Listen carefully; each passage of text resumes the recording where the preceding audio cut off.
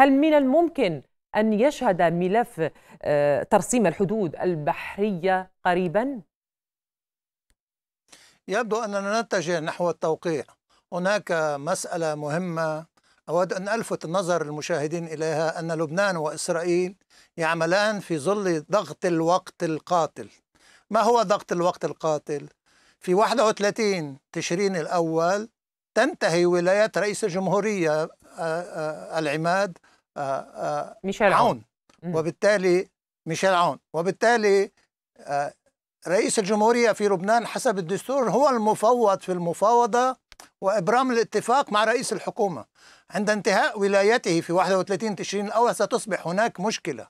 هذه النقطة تنطبق أيضا على إسرائيل. رئيس الحكومة الحالي يائير لبيد حسب الاتفاق مع بنت تنتهي ولايته أيضا في 31 تشرين الأول. إذا الأطراف مجبرة على إنهاء الاتفاق قبل 31 تشرين الأول المقبل لكي لا تقع في فراغ السلطة في لبنان وإسرائيل. لذلك أنا أعتقد أن الجهود تبذل الآن لإنجاز الاتفاق قبل هذا التوقيت.